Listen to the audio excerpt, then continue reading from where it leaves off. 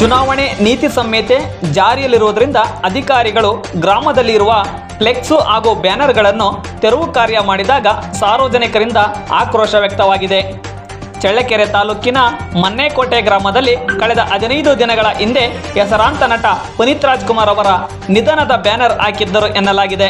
ಆದರೆ ನೀತಿ ಸಂಹಿತೆ ಜಾರಿ ಇದೆ ಎಂದು ಗ್ರಾಮ ಪಂಚಾಯಿತಿ ಅಧಿಕಾರಿಗಳ ಸೂಚನೆಯಂತೆ ತೆರವು ಮಾಡಿದ ಸಿಬ್ಬಂದಿ ವಿರುದ್ಧ ಅಭಿಮಾನಿಗಳು ಆಕ್ರೋಶ ವ್ಯಕ್ತಪಡಿಸಿದ್ದಾರೆ. ಇಡೀ ರಾಜ್ಯ ಹಾಗೂ ದೇಶ ಅಪ್ಪು ಅಗಲಿಕೆಯಿಂದ ಅವರ ಹೆಸರಲ್ಲಿ ವಿವಿಧ ಕಾರ್ಯಕ್ರಮಗಳನ್ನು ಆಯೋಜಿಸಿ ನಮನ ಸಲ್ಲಿಸುತ್ತಿದ್ದಾರೆ. ಆದರೆ ನಮ್ಮ ಗ್ರಾಮದಲ್ಲಿ ಕೇವಲ ಒಂದು ಬ್ಯಾನರ್ ಕಟ್ಟಿದ್ದಕ್ಕೆ ನೀತಿ ಸಂಹಿತೆ ಅಡ್ಡಿಯಾಗಿದೆ. ಆದರೆ ಅರಮನೆ ಮೈದಾನದಲ್ಲಿ ಹಾಗೂ ಇತರೆ ಕಡೆಗಳಲ್ಲಿ ರಾಜಕೀಯ ವಿವಿಧ ಮುಖಂಡರ ಕಾರ್ಯಕ್ರಮಗಳು ನಡೆಯುತ್ತವೆ. ಆದರೆ ಅಲ್ಲದ ನೀತಿ ಸಂಹಿತೆ ಇಲ್ಲಿ ಏಕೆ ಎಂದು ಅಭಿಮಾನಿಗಳು ಆಕ್ರೋಶ ವ್ಯಕ್ತಪಡಿಸಿದ್ದಾರೆ. ಹೆಸರಾಂತ ನಟನ ಬ್ಯಾನರ್ ಅವಮಾನಿಸಿದ ಗ್ರಾಮ ಪಂಚಾಯಿತಿ ಸಿಬ್ಬಂದಿ ಮತ್ತೆ ಅಪ್ಪುಗೆ ನಮನ ಸಲ್ಲಿಸುವವರೆಗೂ ಹೋರಾಟ ಮಾಡುತ್ತೇವೆ.